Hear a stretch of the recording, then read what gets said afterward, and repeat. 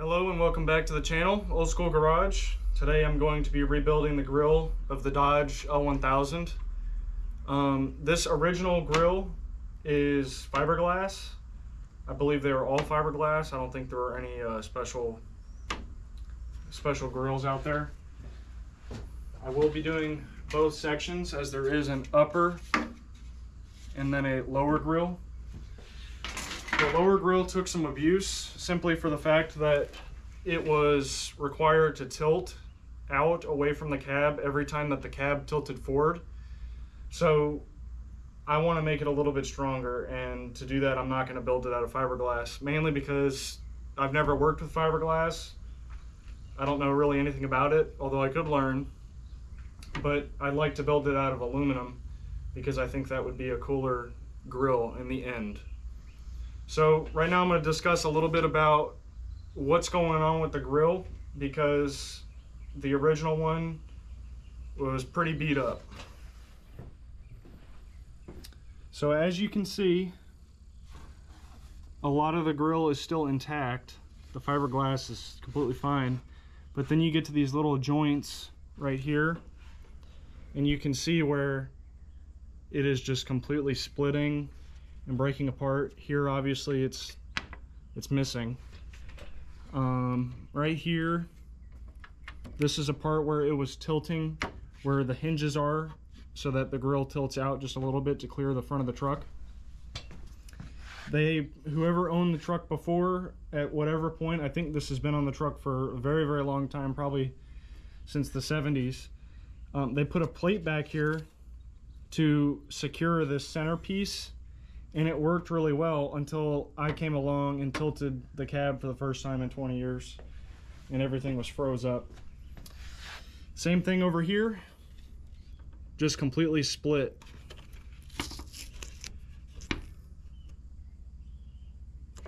So I've got to rebuild this grill. There's, there's no doubt about that. This little guy is a lot better off, but still you can see the fiberglass is starting to fail in certain areas. Now this doesn't do any tilting at all, but you can see wherever it was screwed in, it started to crack a little bit on every screw hole. So again, just make it out of aluminum and then I won't have to worry about it. All right, so I've been doing a lot of prep work behind the scenes trying to get stuff ready so that I'm filming good parts of this. I'm not gonna show all the welding as that would take forever in a video and I don't have a way to film the welding process right now of like close up and showing the actual weld pool and everything like that. Although someday I would like to get into that.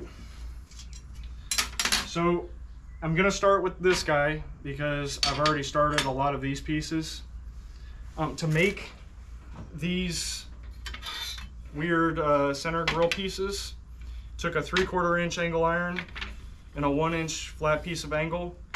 Could have definitely had someone break it on a uh, like a finger break or something like that, but I chose to weld it together. So I've already got one of these bigger sections done. It's already been ground and cleaned up, so it's ready.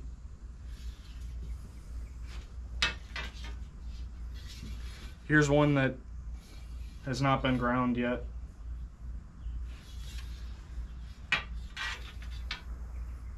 So I've made these little guys. Just gotta grind this guy yet. And now I've got to start measuring and getting all my measurements correct for laying in all the other pieces. So I've got my outers,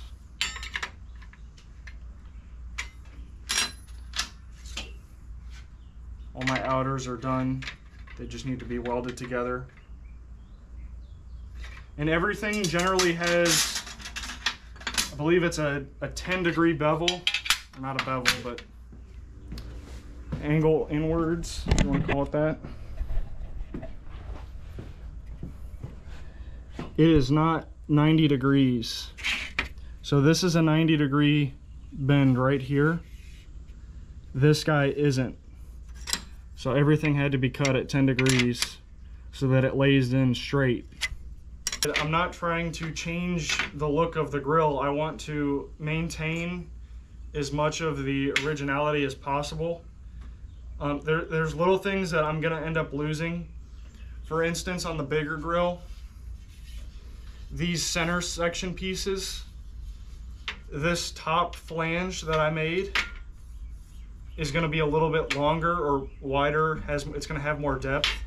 The same thing with these little inner structural pieces because I did measure off of this smaller grill, whereas the bigger grill does not have the same size pieces. So I was trying to keep it all the same. First of all, for cost of getting stock, to keep it all the, the same sizes is a lot easier to manage. And the cost, you're getting longer runs and you can keep, you know, just those longer runs and them down to what you need.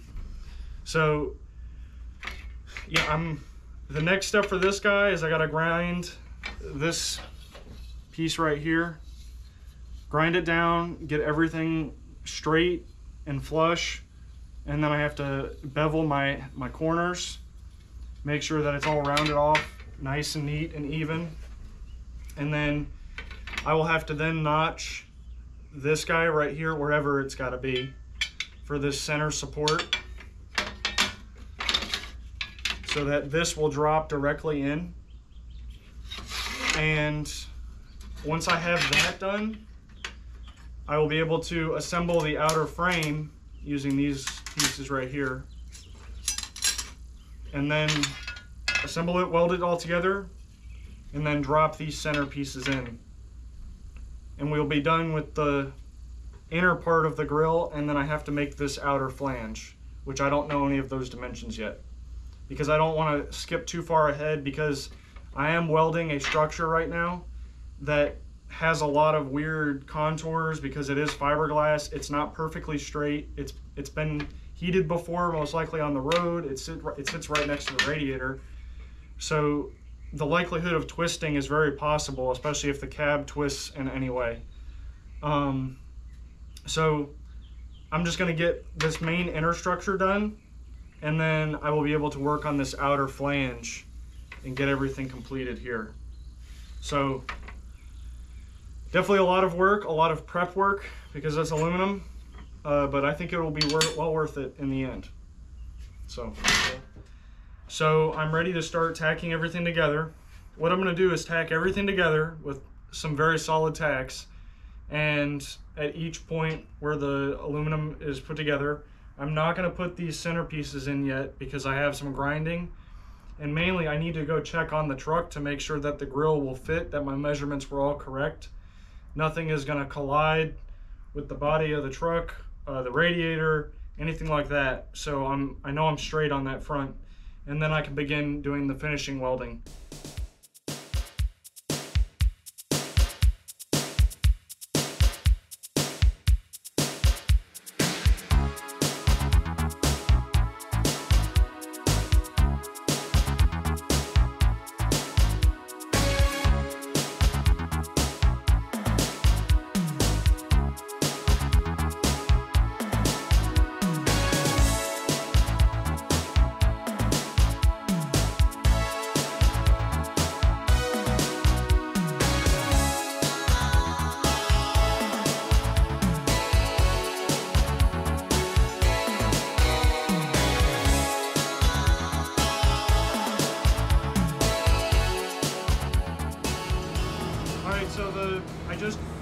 Fit. The grill. it did not fit. It was a little bit too tall. Um, I could definitely grind some of the truck out, like the body of the truck out, but I'm not gonna do that. What I'm gonna do is fully weld this bottom section. This is the bottom section, no, yep. This bottom section, I'm gonna fully weld and make sure it's completed. And then I will end up shortening the top because the short, the top is all 90 degree cuts so that's a lot less work that I have to do with measuring and getting the correct angle cut correct. So that's my next step forward is finishing the welds here and then shortening this guy in. I'm gonna go about an eighth to a quarter of an inch in. just to give it some extra clearance. I've already checked it on the, the original grill and that's kind of where it's at. So I was too exact with the aluminum and I think that's really because the aluminum is thicker than the fiberglass. But it's what it is.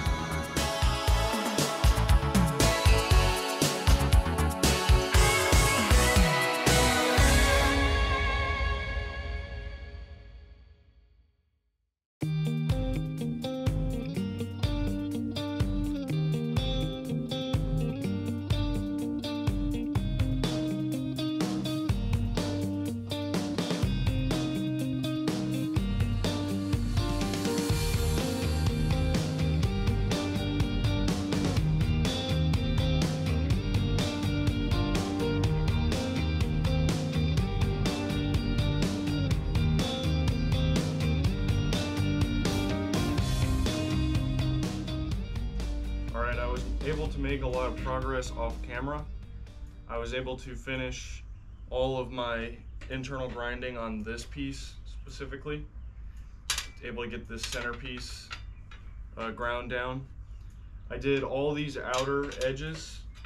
So I basically had to, I took quarter inch aluminum stock, one inch wide stock, and beveled the edges down so that they're nice and smooth and they match the original grill. So let me grab y'all.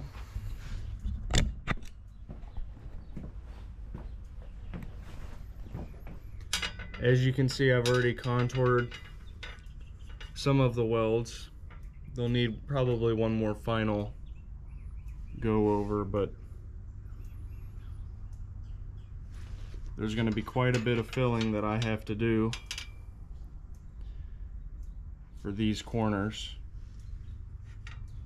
and I've got to line all this stuff up yet and get all that straight but I now have to tack this inner edge. Okay so I got to get this completely tacked my sides completely tacked and then once I'm done with that I need to go check the fit make sure it fits on the truck. And then we are ready to drop these guys in and I'll give you all a little spoiler. I don't know where these are going to go yet.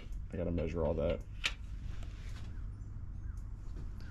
That is going to look good. So, and then I'll have to round these corners to match it and fill every, every crack and then grind it all down and make sure it's all smooth and it, it flows correctly. Lots of grinding left but it'll be worth it in the end.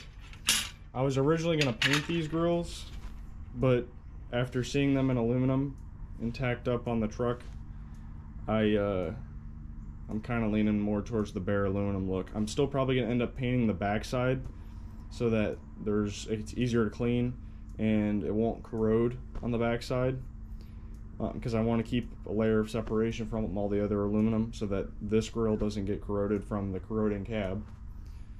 So lots of welding left and uh, lots of grinding.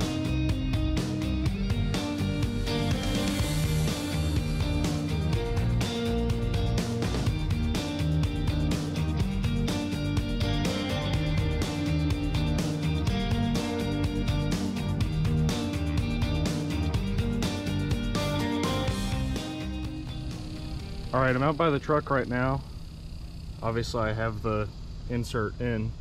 It's still very tight. It fits in very snug especially on the top. Um, but I have everything tacked in. So I'm getting an actual view of what it will somewhat look like. There's still some grinding I'm gonna have to do on this top plate back here this guy to get it to fit a little bit better but I know my fitment is correct now.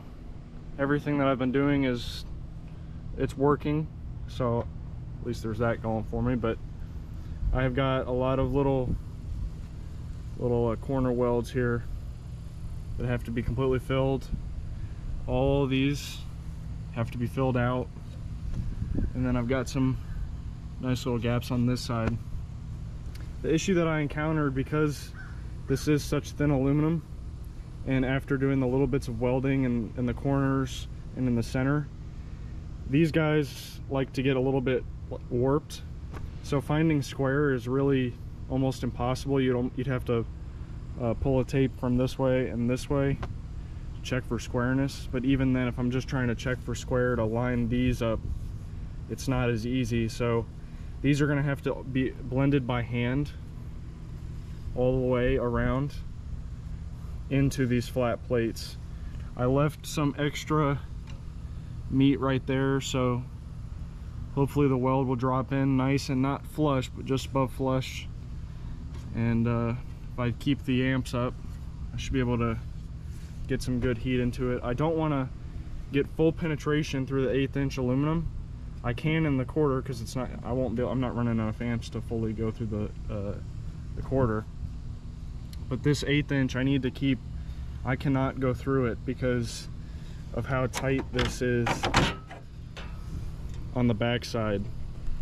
These corners need to fit in here. So Lots of progress, but still a lot more welding to go.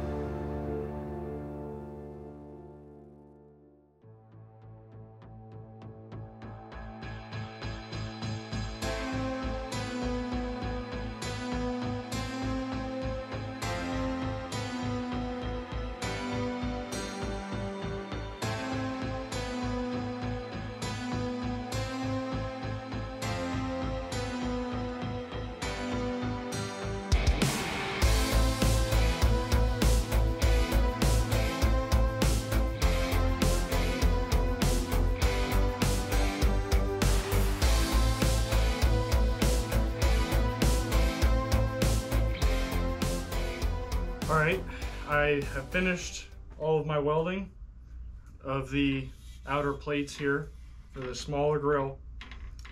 And I have filled in the corners a good amount. They're gonna have to be filled on the end when I round them off. But overall, the welding came out pretty decent. Um, I'm not like an experienced aluminum welder, so I'm happy with my results.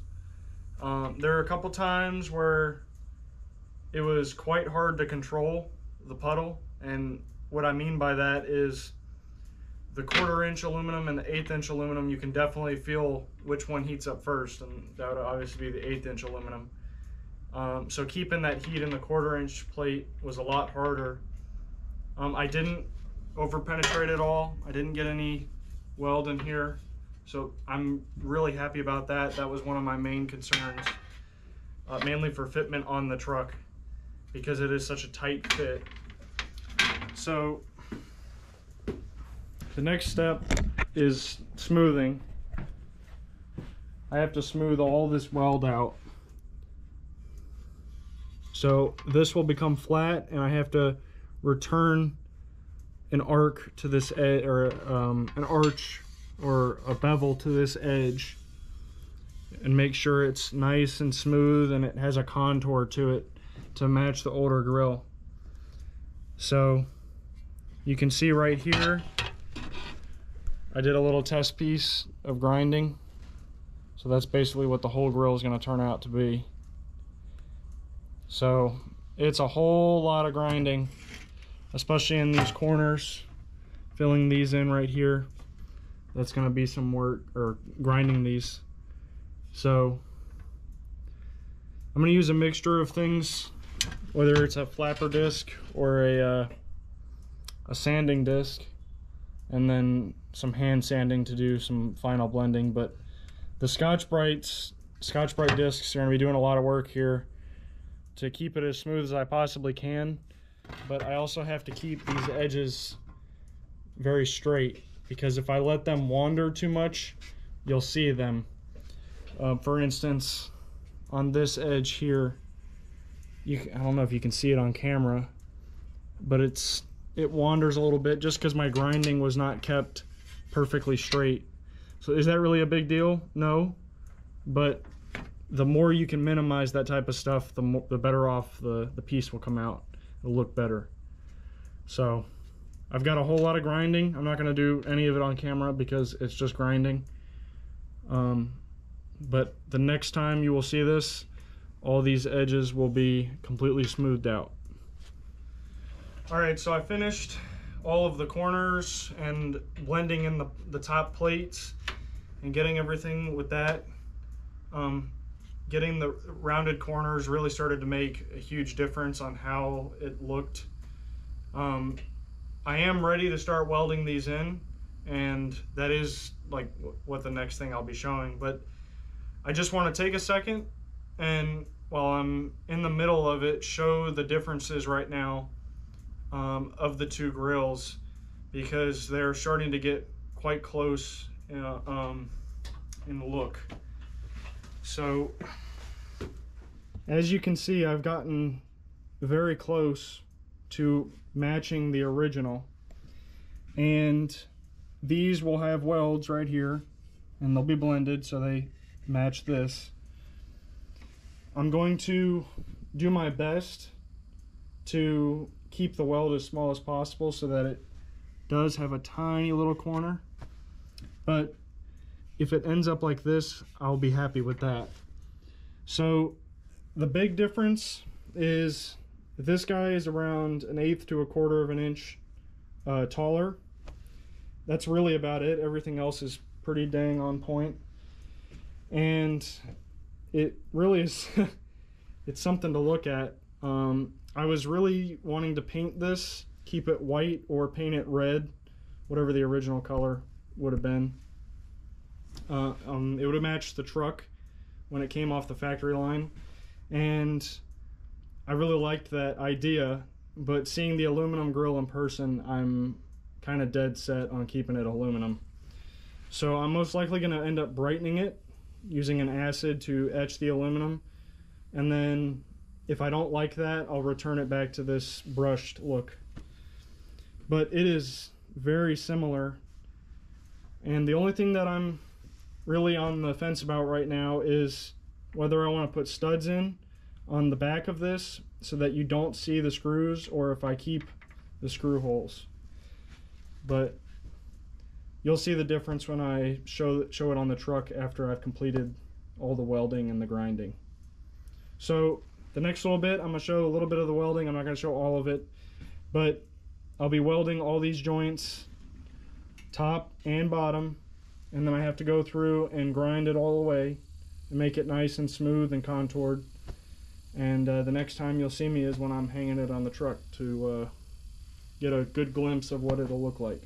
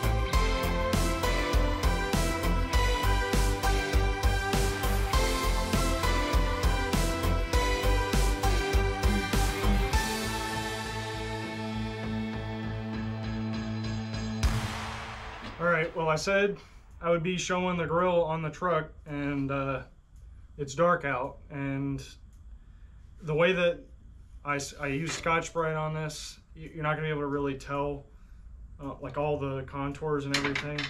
There's still some finish work that I need to do. I need to fix this little guy right here. Um, I can see that in better light, and I'm just gonna wait till I'm less tired and a little bit more observant to do all that finish work, the like fine stuff and getting things to the 100% point. But I'm fully done with all my welding and I am thoroughly pleased with this.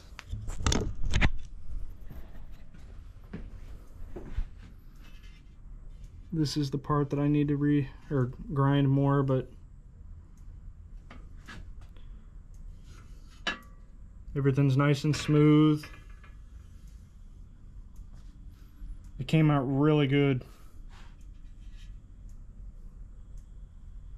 compared to the old grill right there. Man, I'm proud of this guy right here. That took some work. So, I will be posting some pictures on my Instagram. Uh, it's at Old Skuul Garage. So you'll be able to see still photos of this grill on the truck. Um, but the next video will be the lower grill of the L1000, which is that guy over there. I'll be redoing that one also in aluminum. But I've got to get some more uh, stock to finish it because there's some, like I need some thin plate and stuff like that, sheet metal.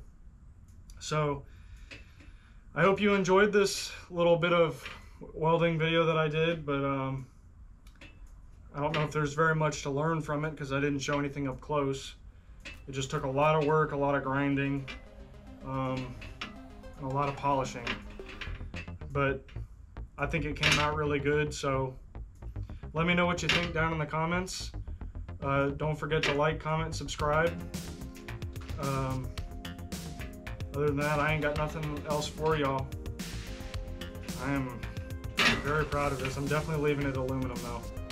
So, I'll see y'all in the next one. Y'all have a blessed day.